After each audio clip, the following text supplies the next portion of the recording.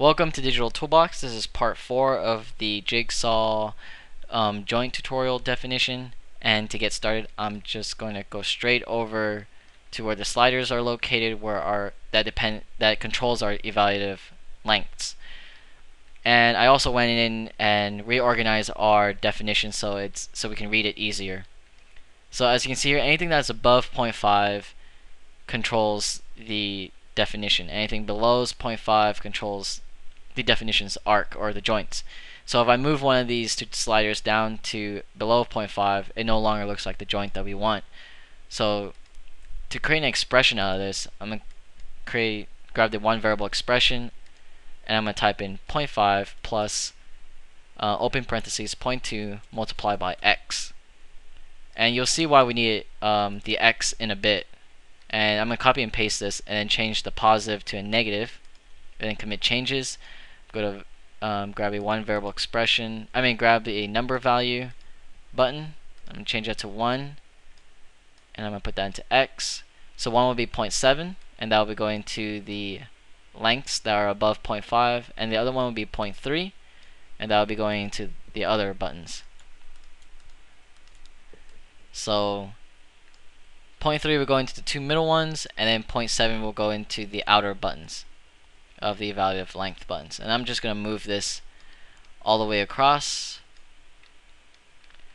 And then what I'm going to do is grab this curve and move it closer so I can work faster. So just take my word, if we flip this curve in Rhino or in Grasshopper, the joint will flip. So go to curve and grab the flip. I'm going to flip the curve. I'm going to unpreview this and then we need something so we can toggle between the two curves. So we can go to um, logic and grab the VB script. X will be on curve, Y will also be on curve, and then we go to input manager and add in toggle as a variable. Click OK, and this will be a boolean for on type for a type hint, and then for output manager, I'm gonna add in B double click on the VB script. For my code, I'm going to write an if and else statement. So if toggle equals true, then A equals X, B equals 1.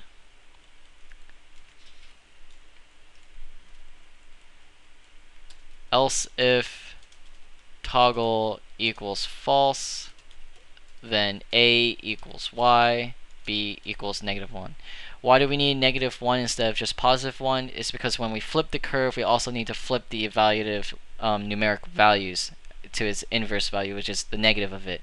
So hit OK. So the flip curve will go into Y, and then the curve will go into X. It spits out a number, which is negative 1, because I think by default the toggle is on false. So put a toggle to it, hover over B, it says negative 1.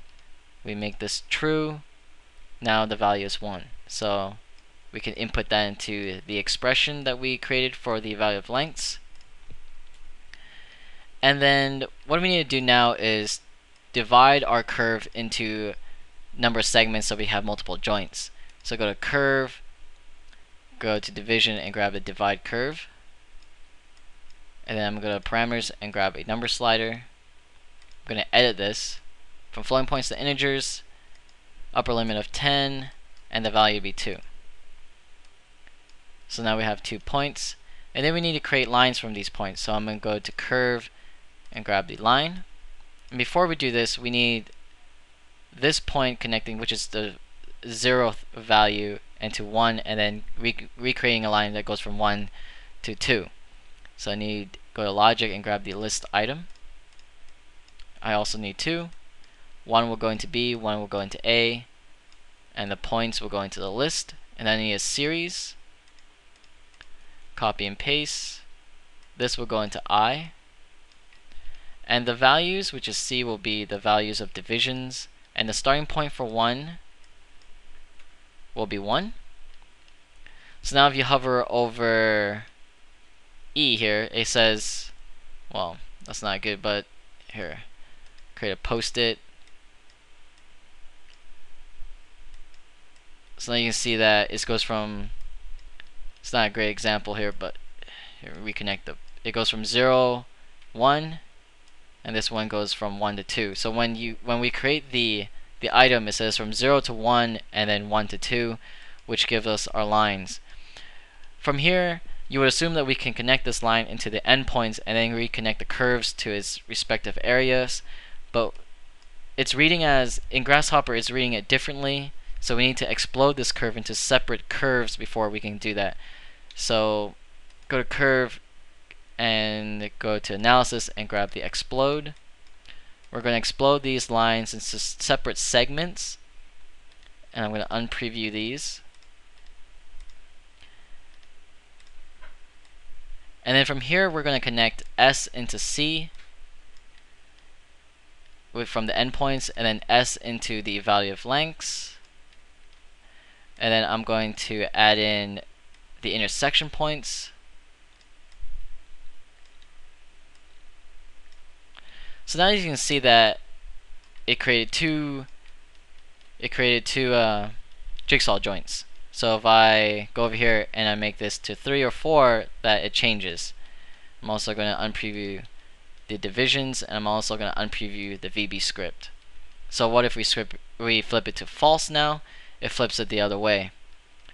So, we need to make sure that it works for everything. So I'm going to unpreview the inside, and I'm going to preview the the um, extrusion curve. It, it was originally named the jigsaw joint. So if I zoom in here, everything looks fine. So now what if I bake it to multiple curves? What if I want this plank to have many joints? So I'm going to set I'm to set multiple curves to three curves and then I come in and this happens. It doesn't give me the joints.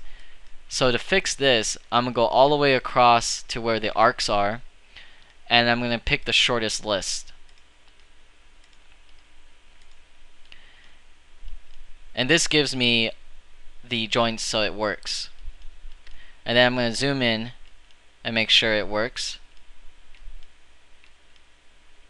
And if I hover over C on the the join here that sometimes uh, on my master definition of this uh, tutorial before I gave you guys the tutorial the one that I originally created I actually had to flatten C and join so I suggest you guys do the same so, so everything works. And from here we're good to go. We can add in more joints if we want control the radius of the joint, control the distance of the joint, and the, the offset um, curves. If we want a smaller offset, we can switch it out. And from here we can also extrude these curves so we can boolean out the planks so we can fabricate them easier. And that's how we create the jigsaw joint in Grasshopper. And thanks for watching. If you guys have any questions, feel free to comment us on our website or email one of us on the comment box or comment us on YouTube. Thanks.